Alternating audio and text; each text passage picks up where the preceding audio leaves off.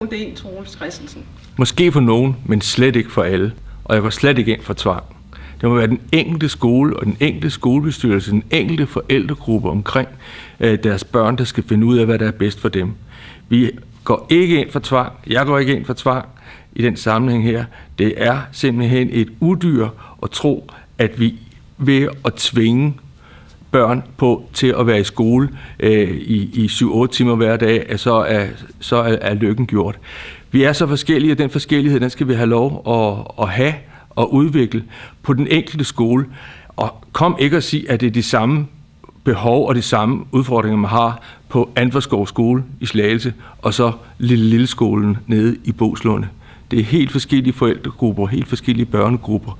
Og det, der er afgørende, hvis vi skal have en god skole, det er og bliver, at læreren ved sine børn, at læreren har de faglige kompetencer, kan formidle det og sikre den rigtige spirit i klassen øh, og der er ro og disciplin. Vi kan lære meget af kineserne, men vi skal ikke efterhæbe kineserne med, med, med, med den der statsstyring, den måde, som de har skole på. Men lad os lære noget af den disciplin, de har, og den der målrettighed. Øh, den skal indgydes i eleverne fra lærerens side, fordi at læreren vil eleverne. Hvis det nu er godt med en heldagsskole for nogle øh, elever, hvordan skal man så indrette folkeskolen, synes du? Jamen det synes jeg egentlig, at man skal finde ud af ude på den enkelte skole. De skal have den frihed. Altså, vi er et liberalt parti. Vi skal sikre, at man har frie rammer. Nogle gode rammer. Men inden for de rammer, der må man selv have frihed til at finde ud af at forvalte øh, de ressourcer, de lærerkræfter, de faciliteter, det man har til at, at lave en god skole, det skal man selv indrette. Hvordan timerne skal være, om hvor længe de skal være i skolen, det skal de selv finde ud af. For de tror nemlig på, at det er det, der er vejen frem. At ville sine børn på den rigtige måde i de rigtige rammer.